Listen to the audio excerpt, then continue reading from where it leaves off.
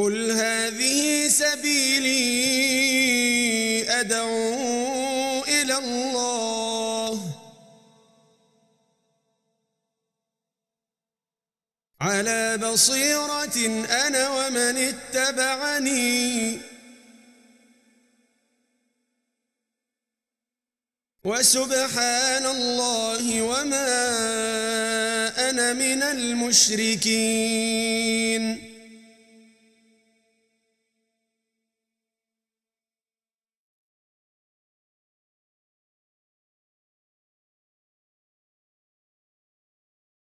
أحسن الله إليكم. يقول السائل من فرنسا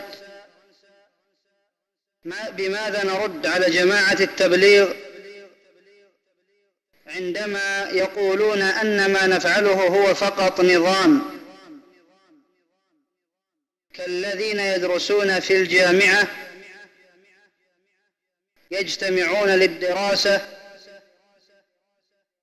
وفي القديم في المساجد. وليس ببدعة.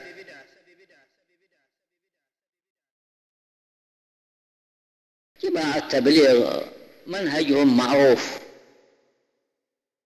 معروف لأهل العلم. لا للجهال. معروف منهجهم وأنهم جهال بالعقيدة. وأنهم إذا نزلوا مسجد فيه قبر. ما أنكروا المنكر ولا أمروا بمعروف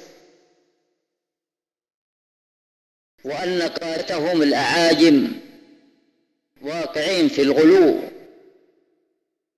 في شرك القبور. حتى إن رئيسهم الأول يدعي بأن هذه الجماعة أمر بتأسيسها الرسول. نزل الرسول وأمر أمره أن يؤسس جماعة التبليغ. وهذا من الكذب.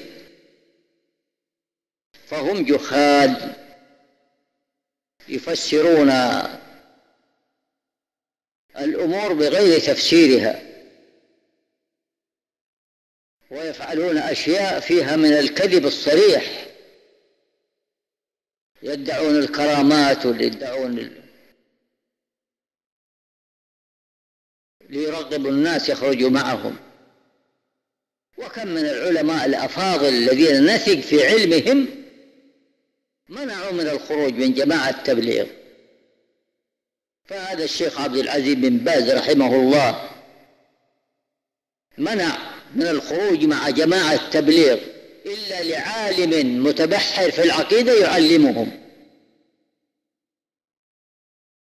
وهم لا يرضون إذا قام المعلم يعلم في العقيدة يخرجون من المسجد.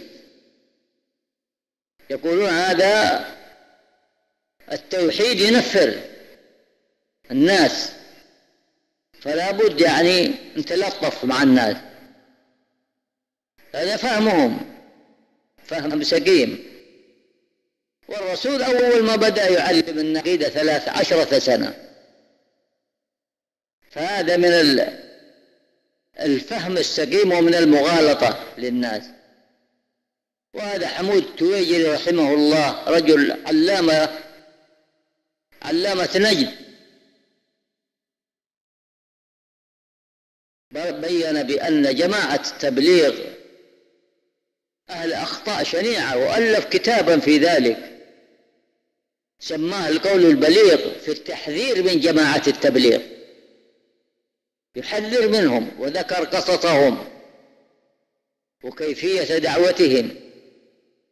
وهذا الشيخ محمد إبراهيم آل الشيخ علامة زمانه والمفتي للمملكة العربية السعودية حذر من جماعة التبليغ. وأنذر من يريد أن يساعدهم بالمال أو يستجيب لدعوتهم.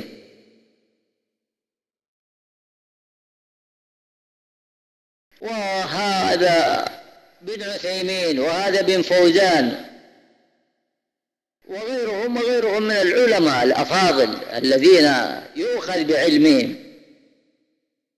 فلا نسمع لحيل جماعة التبليغ ولا يجوز لأحد أن يكثر سوادهم ولا يعتبرهم من الدعاة. الداعي إلى الله لابد أن يملك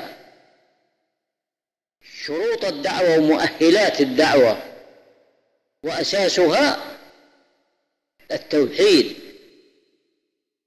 وبيان ما يضاد التوحيد من الإشراك بالله. فهم لا يتكلمون ولا يتكلمون في الإشراك بالله تبارك وتعالى ولا يبينون ضرر الإشراك.